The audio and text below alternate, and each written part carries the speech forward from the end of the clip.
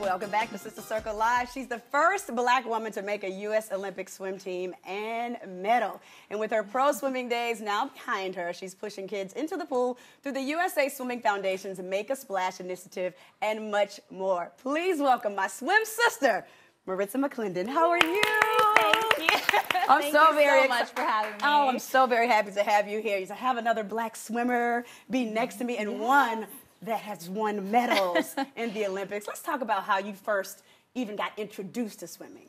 Well, I actually grew up in San Juan, Puerto Rico, which is where I was born, and we're surrounded by water. Absolutely love the beach. My mom took me every day, but I would only go knee high. Right. And every now and then, when my mom my mom wasn't looking, I'd kind of creep in a little bit more, and then my mom was like, "Mm, we're not playing this game right Yeah, now." So, yeah. you know, at the same time too, I was suffering from scoliosis, Okay. and my doctor actually recommended swimming, and my mom was like, "Perfect. You take her to the beach all the time. Let's get her some basic water safety lessons." Right. By the end of the summer, I loved swimming Yes. so much. I said, "Mom, I want to do this all the time." When did she know that you had a gift to actually propel yourself to the Olympics? You know, I think my mom always believed from day one that I was going to be a great Mm-hmm. athlete, great swimmer. Um, for me, it clicked in a little bit later. You know, I was I grew up in Florida and didn't want to swim outdoors in the cold. In the winter, our 60 degree weather. Yes, winter is right. freezing for me when you're wet. Um, and then, you know, at age 12, I made this national team cut, and Yeah. that was when it clicked to me, and I was like, hmm, Yeah. I should probably commit a little bit more to this sport. yeah, So, you know, around the age of 12 is when you can say either you're going to do it Yes.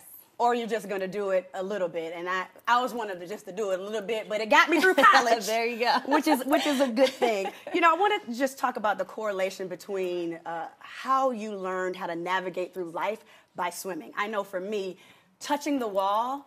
For Mm-hmm. me now in my life, I got to finish through and I got to finish strong.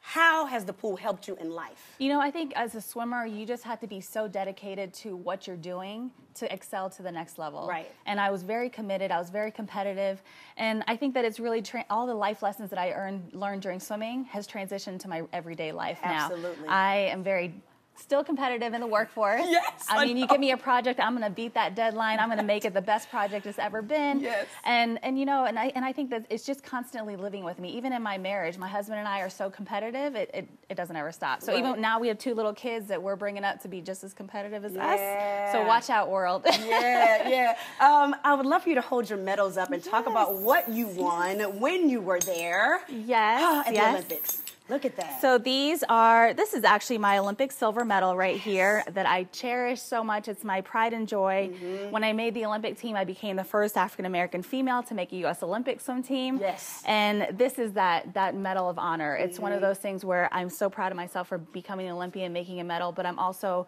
proud to be the first and I definitely don't want to be the last. Absolutely. I love swimming as a sport, but for so many it's a life-saving skill and that's my Yes. platform now. Let's talk about those life saving skills with the Make a Splash initiative. Why was it so important for you to uh, team up with USA Swimming? You know, USA Swimming Foundation has done a fantastic job of creating an avenue where every kid can learn how to swim. Yes. You know, we're we're listening to statistics that 64% of African American children don't know how to swim, 45% of Hispanic children don't know how to swim, and 42% of, of Caucasians don't know how to swim. When you hear those statistics, you have to do something. Yes. It's about educating and offering those opportunities. So you can always go to usaswimmingfoundation.org and type in your zip code, find a pool near you. You can get it at low to no cost. Yes. And everybody has an opportunity to learn how to swim. It's so important. Those statistics, because of the USA Swimming Foundation program, is decreasing is decreasing by five to ten percent um, over the last decade. So Good. we're definitely seeing those numbers switch and you know it's fantastic. This 2018 year um, usa swimming foundation really wants to teach at least a million kids how to swim That is so good. Can we talk a little bit about the black girls and their hair? Yes. Because this is really big deal. Me swimming, I, of I don't know. We've shown some pictures of me in my hat. I would literally put on a mm-hmm. hat mm-hmm. every time I got out of swim practice. But mm-hmm. can we just talk to, speak to that really quickly and the importance of us getting out of that whole mindset? You know, for especially for black women, our hair is a big thing. It's it's kind of our pride and joy. It's who we are. It helps us express ourselves. And it's always tough hopping into a pool and getting it wet. I know. And it gets so, ah. Right. and you hop out, and Right. it doesn't just turn back into normal. You got to hide it or go back to the bathroom and fix it up. So that always is a, a slight barrier, but we want to make sure that you can take your hair, care of your hair when you're dry. Yes. You can do it when it's wet too. Yes, yes. It's all about maintenance and getting the right products for your hair. And everybody's hair is different. We know black women's hair is very different Yes. from person to person. Yes. So there's products out there that, that work for everyone. Before we let you go, you are a member of Sigma Gamma Rho Sorority Incorporated, and I love I love programs in all of our sororities. Mm-hmm. I'm really really drawn to Swim 1922. Can you talk a little bit more about that? So Swim 1922 is a partnership with USA Swimming where we're really trying to make sure our African American women are understanding what these statistics are, we're educating them about them, and making sure that they have an avenue of how to change those statistics. Yes. We want them to bring their kids, their grandmas, their aunts, everybody come to the pool, learn how to swim. And our biggest target is, is African American women because we want to make sure that they're the head of the household